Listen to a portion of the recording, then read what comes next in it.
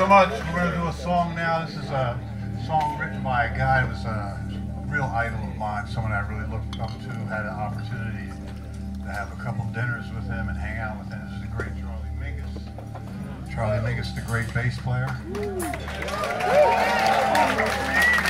Anyway, you know, uh, he had a friend, his friend, uh, saxophone player named uh, uh, Lester Young. And those days, uh, the guys, the brothers wore these hats called pork pie hats. It's kind of curl up there, you know.